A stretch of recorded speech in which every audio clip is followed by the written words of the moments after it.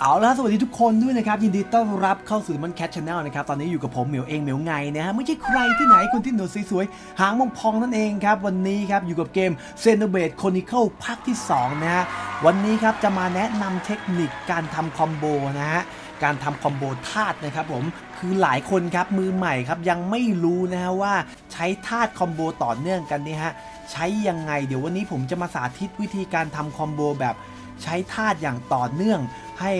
มือใหม่นะครับหรือคุณผู้ชมที่ยังไม่ทราบนะครับ ได้รู้วิธีการใช้งานของมันนะครับ เดี๋ยวเราไปดูกันเลยแล้วกันฮะเดี๋ยวไปหาออมอนที่พอจะรับ damage จนทำ combo ได้แล้วกันนะฮะเอาละเดี๋ยวเรามาลองจัดการเจ้าตัวนี้แบบ combo ระบบธาตุดูแล้วกันนะฮะอะฮะโจมตีนะฮะ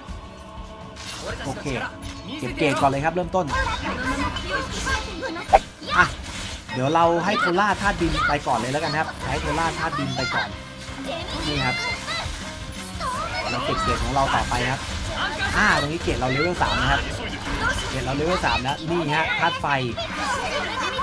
เห็นไหมฮะ ด้านบนจะมีแถบเวลาอยู่ครับ เป็นธาตุดินแถบเวลาอยู่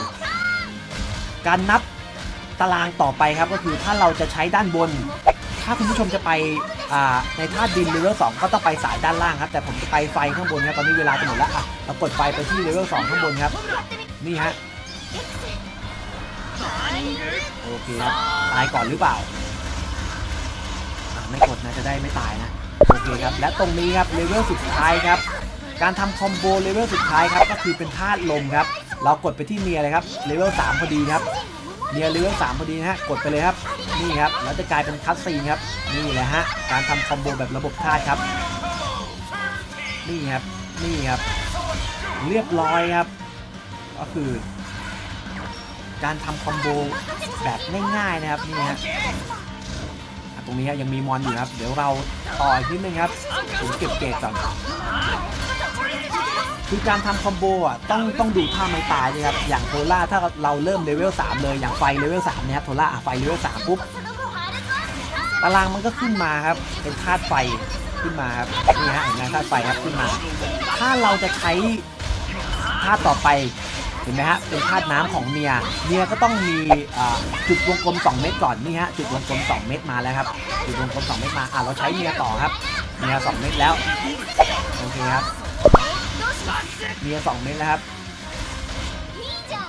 โอเคครับ แล้วเขาบอกว่าธาตุต่อไปครับ ผมก็จะเลือกธาตุไฟครับ เพราะว่าตัวทางด้านของโทล่าครับ level โจมตี level 4แล้วครับ อะ โอเคครับ ใช้ท่าไม้ตายเลย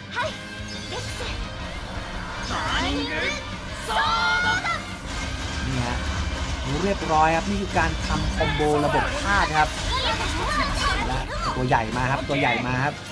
เอาละครับแล้ววันนี้ก็มีเทคนิคมาแนะนำกันเพียงเท่านี้นะฮะสำหรับมือใหม่ที่เพิ่งเริ่มต้นเล่น x e n o b a t e Chronicle 2นะครับ ยังไม่รู้วิธีการทำคอมโบหรือยังไม่รู้วิธีการเล่นครับ เดี๋ยวช่องของเราครับก็จะทยอยทำคลิปออกมาให้ดูแบบเข้าใจง่ายกันเรื่อย ๆ แล้วกันนะ อย่าลืมกดติดตาม Subscribe ไลค์แชร์เอาไว้ให้ด้วยแล้วกันนะครับ ยังไงวันนี้ต้องขอตัวลาไปก่อนนะ เดี๋ยวคลิปหน้าจะเป็นอะไร อย่าลืมกดติดตามกันไว้ด้วยแล้วกันนะฮะ